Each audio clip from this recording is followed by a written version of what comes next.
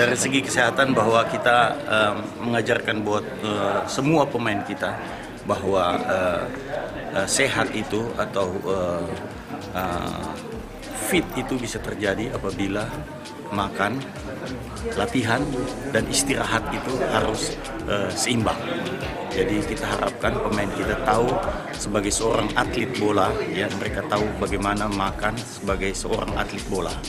Istirahat kapan, walaupun tanpa dikontrol, walaupun tidak dikontrol pun mereka harus tahu. Kemudian tentang uh, maintenance uh, kesehatan mereka otot mereka. Mereka rutin melakukan fisioterapi maintenance, masio, uh, uh, masas uh, uh, maintenance. Itu yang kita lakukan karena pertandingan di Kambo, uh, Kamboja Phnom Penh pada saat itu mempunyai waktu yang sangat dekat, hanya istirahat saja.